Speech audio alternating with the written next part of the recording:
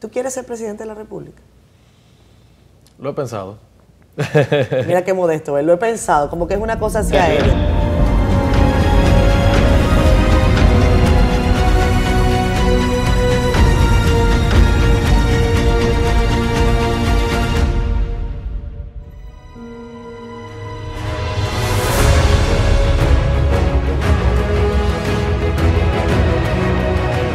hermano, qué bueno verte. Tú tranquilo.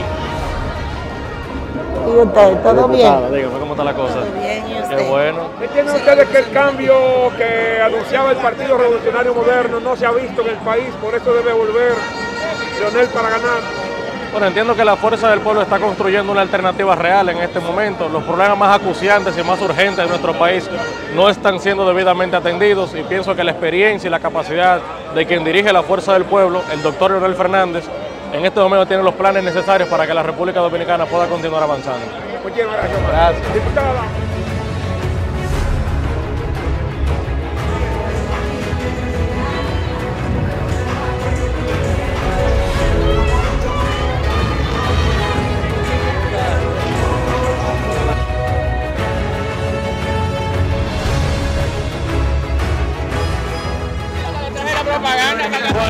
Claro. Como a todos. Ya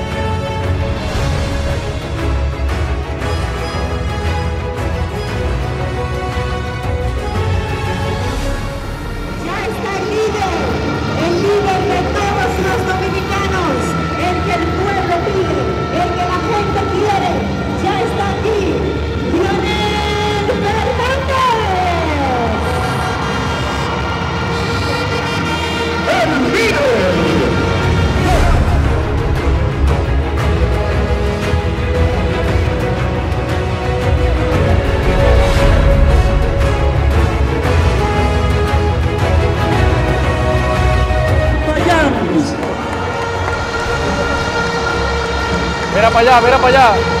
A Valentino. Fernández en esta juramentación en la arena de Santiago.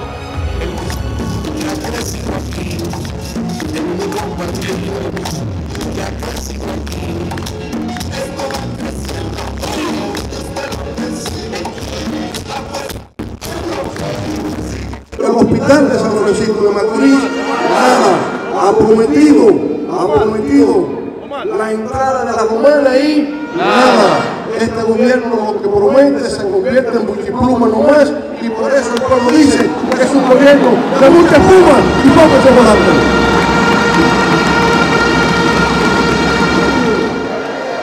En Baitoa, en La Canela, en Puyal, en la provincia de Santiago, en San Francisco, en La Vega, en Moca, en Bonao, en la República Dominicana, fuerza del pueblo.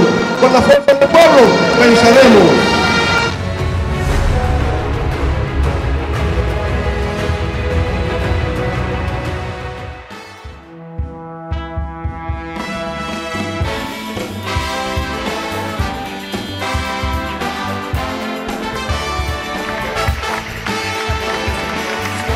Acompaña esta noche? Omar, bienvenido. ¿Cómo estás tú?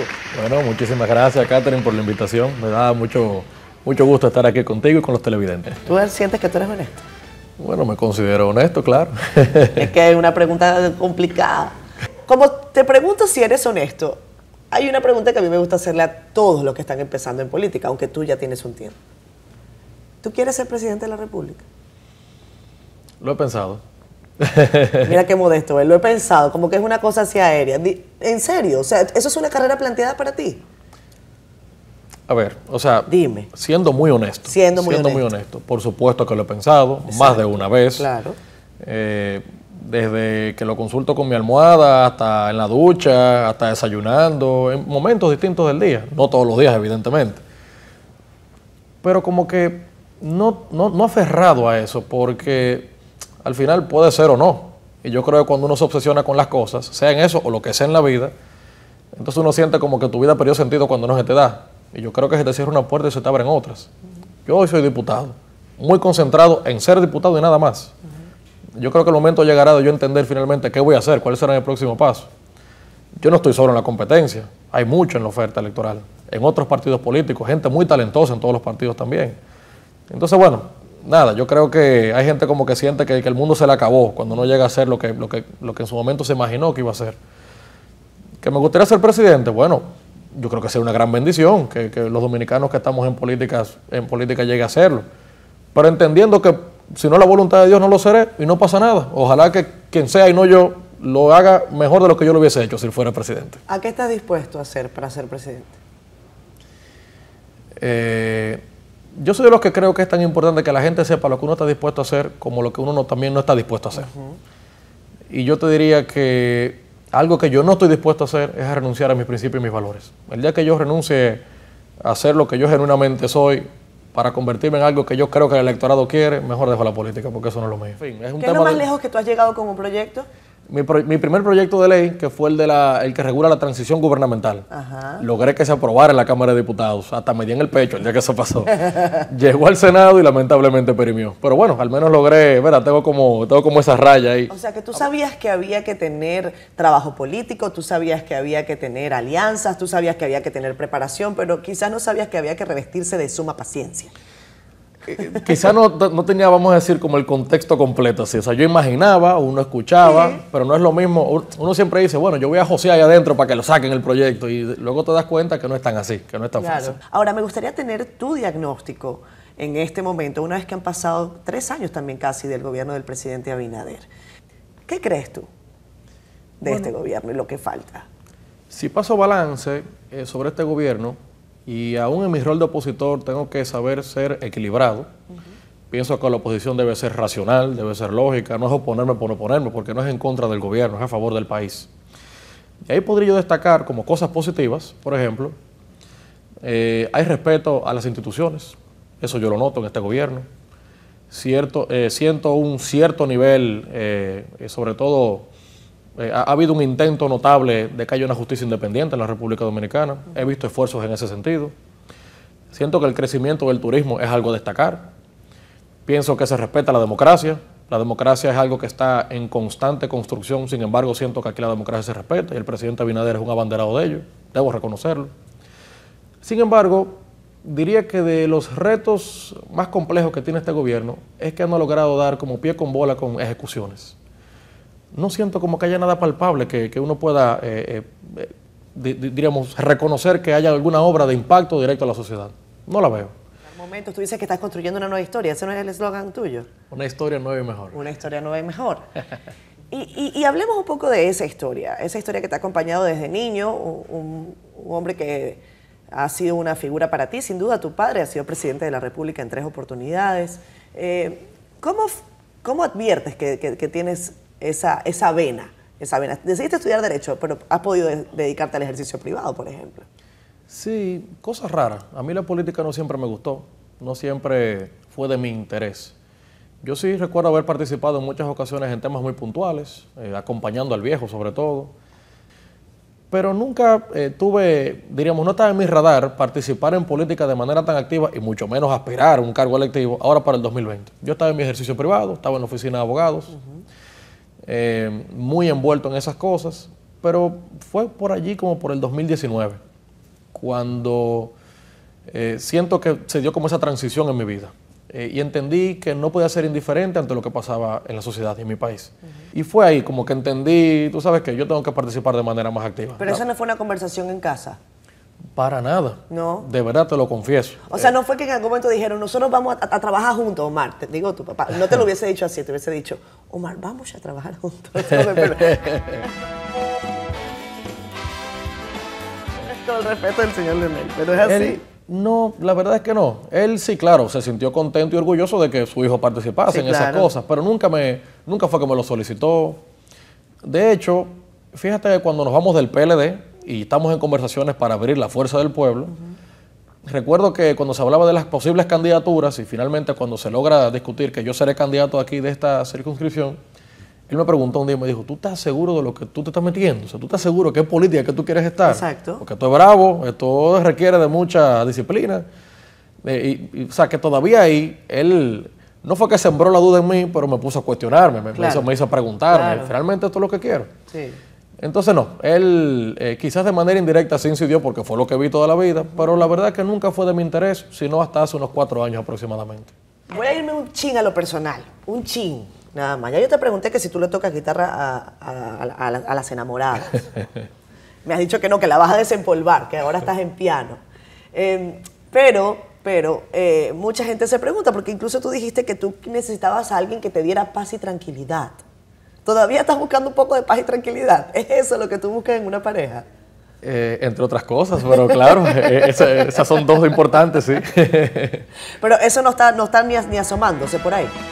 No hay pareja todavía, no, mi corazón está muy disponible en este momento. Está, está libre.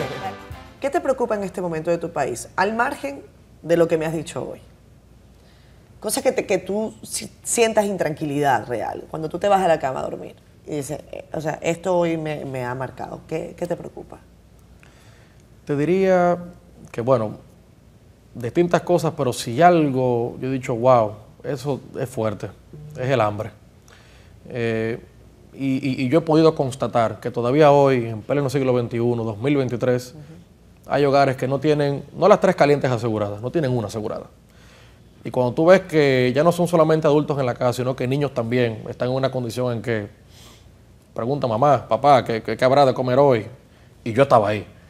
Eh, y que la respuesta no fue una respuesta, eh, tú sabes, con certeza, sino ya veremos. Eh, wow, son como de las cosas que tú dices, y eso existe, y eso está presente. Y es de las cosas que, nada, que uno intenta eh, marcar la diferencia eh, y lograr que- que no exista esa condición en la República Dominicana.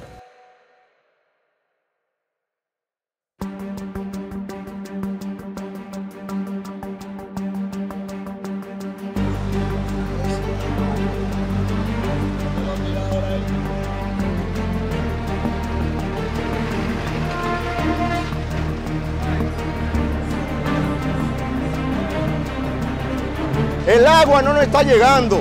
Estamos pasando una situación difícil. No hay agua para bañarse, para las necesidades básicas. No hay agua para limpiar. Eh, eso es algo vital para la higiene. La narrativa que así, yo, puede seguir así, que va a llegar lejos. Gracias, hermano. Tiene un buen, va a llegar lejos. Te agradezco mucho la Puede contar con Este es un caos con el agua. Aquí en el kilómetro 7 de la carretera Sánchez no hay agua. Más de tres meses que no llega el agua. Es un caos totalmente. Cuando llega es un poquito y se va de una vez.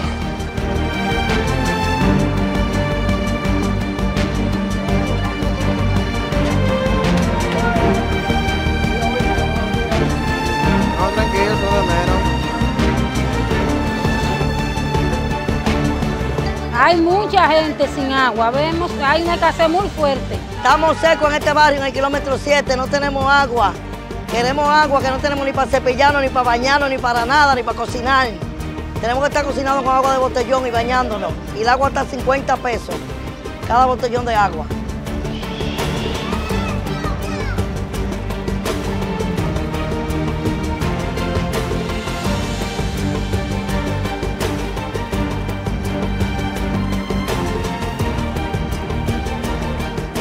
Favor, el agua es vida y sin agua no tenemos vida. Que tengan compasión de nosotros.